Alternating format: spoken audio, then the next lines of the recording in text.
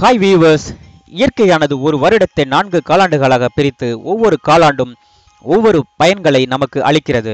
அந்த நான்கு காலாண்டுகளில் நடக்கும் காலங்கள் முறையே கோடைக்காலம் மழைக்காலம் குளிர்காலம் இலையுதிர்காலம். இந்த நான்கில் ஏதாவது ஒன்று மட்டும் பனிரெண்டு மாதங்கள் வரை தொடர்ந்து நீடித்தால் நாம் இந்த பூமியில் உயிர் வாழ்வது மிக கடினம். அந்த அளவுக்கு சுழற்சி முறையில் இயற்கை நம்மை காக்கிறது. அப்படிப்பட்ட நான்கு காலங்களில் மழைக்காலத்தில் ஏற்படும் இடி மின்னல்களை பற்றிதான் இன்றைய சிறப்பு பார்வையில் நாம் பார்க்க இருக்கிறோம். வாருங்கள். மழைக்காலங்களில் ஏற்படும் பயங்கர வினோதங்கள் தான் இந்த இடி மின்னல்கள். இடி என்பது மின்னல் காரணமாக ஏற்படும் ஒரு பெரிய சப்தம். மின்னல் என்பது மேகங்கள் ஒன்றோடு ஒன்று மோதிக்கொள்ளும் போது ஏற்படும் மின்னோட்ட வெப்பம். இந்த வெப்பம் மின்சாரத்தை விட சக்தி வாய்ந்தவை. இடியும் மின்னலும் ஒன்றுக்கொன்று தொடர்புடையவை.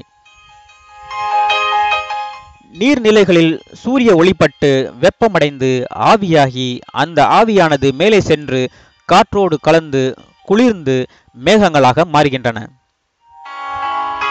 அப்படி உருவாகும் மேகங்கள் வானில் தென்பட்டாலே மழை வரும் என்பது நம் அனைவருக்கும் தெரியும். அதிலும் குறிப்பாக கார்மேகங்கள் சூழ்ந்து கொண்டால் அன்று கனமழைதான். இதன் மூலம் பெரியவர்களும் சிறியவர்களும் மகிழ்ச்சியில் துள்ளி குதிப்பார்கள். ஏனென்றால் மழை என்றாலே மகிழ்ச்சிதானே? மழையில் ஏரிகளும் குளங்களும் கண்மாய்களும் நிரம்பி வழியும். இப்படி பெய்யும் மழையானது விவசாயிகளுக்கு ஒரு வரப்பிரசாதம். குடிதண்ணீர் இல்லாமல் தவிக்கும் மக்களுக்கு இது வரம். மக்களைப் போன்றே தாவரங்களும் விலங்குகளும் பறவைகளும் மழை வந்தாலே குதூகலமாகி விடுகின்றன அந்த அளவுக்கு மழை நமக்கு எண்ணற்ற பயன்களை தருகிறது. மழை காலங்களில் மக்கள் வெளியே செல்லும் போது மழையில் நனையாமல் இருக்க குடைகளை பயன்படுத்துவது வழக்கம். அதிலும் குறிப்பாக வண்ண வண்ண நிறங்களில் உள்ள குடைகளை பயன்படுத்துவதுதான் அவர்களின் விருப்பம். ஆனால் இந்த கலர் குடைகள் நமக்கு பயனற்றவை. ஏனென்று தெரியுமா?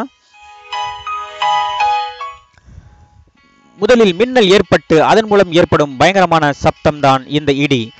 மின்னல் ஒளியின் வேகத்தை விட வேகமாக பூமியை நோக்கி பயணிக்கும். மின்னல் ஏற்பட்டு அது ஒரு மரம் அல்லது தாவரத்தின் மீது பட்டால் மின்னலின் வெப்பம் காரணமாக அது உடனே கருகிவிடும். அதே மின்னல் நம்மீது பட்டால் உயிர் பிழைப்பது மிகவும் கடினம். தெளிவாக சொல்ல வேண்டுமானால் நாம் கொதிக்க வைக்கும் நீரின் கொதிநிலை நூறு டிகிரி செல்சியஸ். இந்த கொதிநிலை உடைய நீர் நம் உடலில் பட்டாலே நாம் உயிர் பிழைப்பது கடினம். ஆனால் மின்னலின் வெப்பமோ இருபதாயிரத்தி நூறு டிகிரி செல்சியஸ். அதாவது சாதாரண நீரின் நீரின் கொதிநிலையை விட இருநூறு மடங்கு அதிகம். இந்த கொதிநிலை நாம் சூரியனுக்கு சற்று சூர தூரத்தில் நடந்து செல்வதைப் போல் இருக்கும். இப்படி மழை காலங்களில் ஏற்படும் இடி மற்றும் மின்னல்களிடமிருந்து நாம் தப்பிக்க வேண்டுமானால் நாம் குடைகளை பயன்படுத்த வேண்டும் என்பது நம் அனைவருக்கும் தெரியும். அதற்காக கலர் குடைகளை அல்ல. குடை என்றாலே பாதுகாப்பு தானே? அதன் நிறத்தால் அப்படி என்ன பாதுகாப்பு பிரச்சனை வந்துவிடப் போகிறது? என்று நீங்கள் கேட்கும் கேள்விக்கு பதில் இதோ.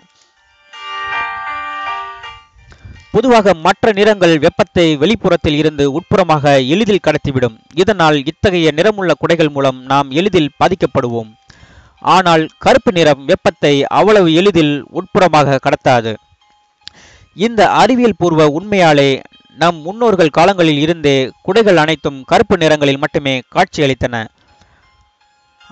ஆனால் மனிதனின் நாகரிக மோகத்தால் அவை தற்போது அழகு சாதன பொருட்களாக மாறிவிட்டன. மழை காலங்களில் எப்பொழுது இடி மின்னல்கள் வரும் என்று நம்மால் கணிக்க முடியாது.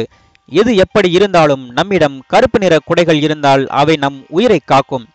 எனவே மழை காலங்களில் கருப்பு நிற குடைகளை பயன்படுத்தி உங்களை காத்துக்கொள்ளுங்கள் அல்லது மழை காலத்தில் மழை வரும்போது முடிந்தவரை வீட்டை விட்டு வெளியே செல்லாதீர்கள். நன்றி வணக்கம்.